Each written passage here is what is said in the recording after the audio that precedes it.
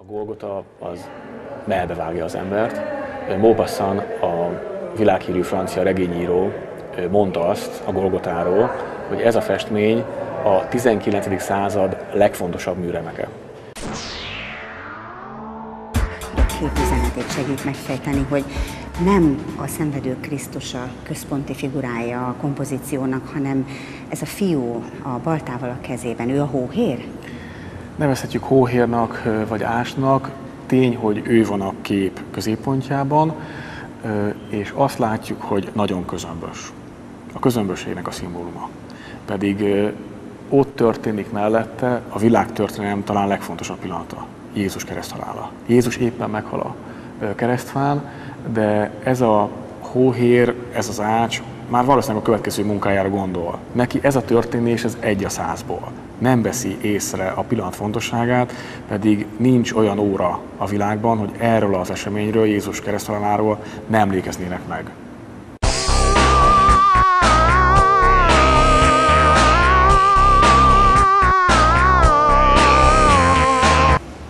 Ilyen közel még sose voltam a képhez, elég megdöbbentő ez a közelség, és még inkább erőteljes ez a mozdulat, ez a, ez a menekülő figura, aki a mellét verdesi bűnbánatában. Ő kicsoda?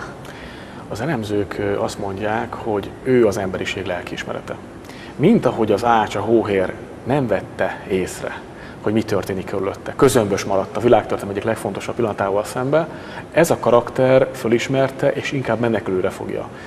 Az a kép üzenete, az az alak üzenete, hogy Úr Isten, mit tettünk.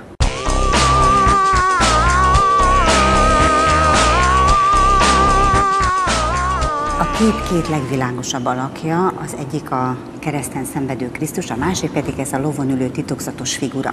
Sőt, talán ő a világosabb. Miért? Van egy olyan feltételezés, hogy ő a halál lovasa. És az, ahogyan ő Jézusra tekint, azt szimbolizálja, hogy Jézus éppen meghal a keresztfán. Van egy másik álláspont, magam is inkább ezt a másik álláspontot képviselem. Szerintem ez a fehér ruhás lovas alak nem más, mint a feltámadt Krisztus, aki visszatekint a három nappal korábbi kereszthalálára.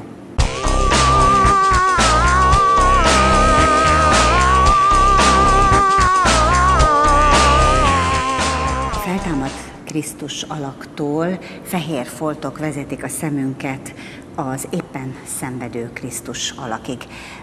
Azt mondják, hogy voltak éppen az az ember alak, aki ott fönt van a kereszten, az munkácsi, tehát önmagát feszítette keresztre, amikor ezt a festményt festette. Valóban, amikor rátekintünk Krisztusra, akkor munkácsi testét látjuk viszont, saját maga vállalta azt, hogy őt kötözték föl a keresztfára. Át akarta élni azt a pillanatot, hogy milyen fönt lenni, ezt a magaslatot, ezt a fajta érzést. Fölkötötték a keresztfára, készültek fotók, és ezek a fotók alapján jöttek létre a tanulmányok, majd ez alapján a festmény.